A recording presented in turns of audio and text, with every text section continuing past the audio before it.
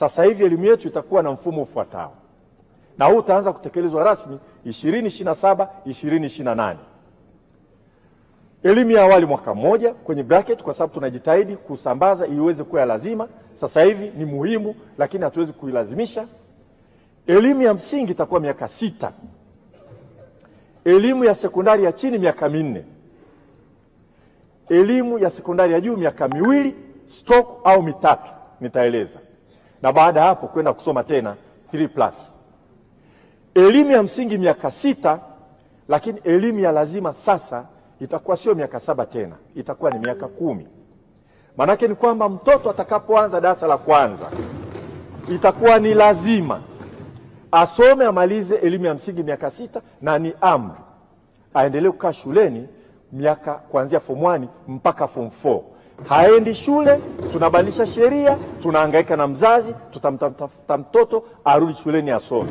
Huyu mtoto akianza na miaka sita shule ambayo ndio umri wa kwanza darasa la kwanza, akimaliza form 4 atakuwa na miaka kumi na sita.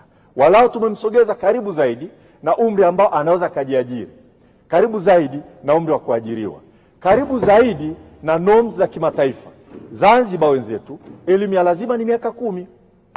Kenya sasa hivi nadhani ni miaka tisa. Kwa wastani duniani nchi zote zinakimbilia elimu ya lazima miaka tisa, kumi au kumi na mbili.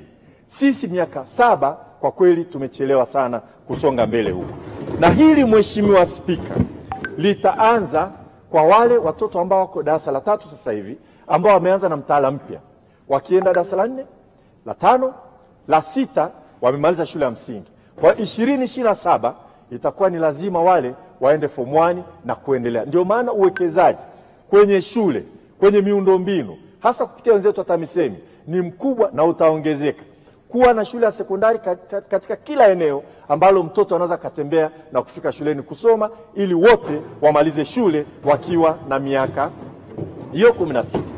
Sasa kabla sijafafanua zaidi, nieleze kidogo katika mitaala, na haya ndio ma maono ya rais wetu, maki alisema fanyeni elimu tuhakikishe mtoto anaajiriwa, na kabla hata hajahutubia bunge hapa alizungumza tarehe sita mwezi wa nne katika elimu ya msingi, na hili limezungumzwa humu ndani. Kiingereza kitaanza darasa la kwanza kitafundishwa kimawasiliano zaidi, alafu baadaye ndio kanuni. Baada ya kuanza kukazia kanuni, unamweleza verb, unamwaliza adverb, unamweleza nouns, past tense, present participle tense. Mtoto anakaa haelewi, lakini ukienda sasa hivi kwenda kujifunza Kimasai ukajifunza mawasiliano, utaanza kuongea Kimasai. Hasa matokeo yake mtoto anamaliza darasa saba Kiingereza aongee. Tunaanza darasa la kwanza na tunabadilisha namna ya kufundisha kimawasiliano.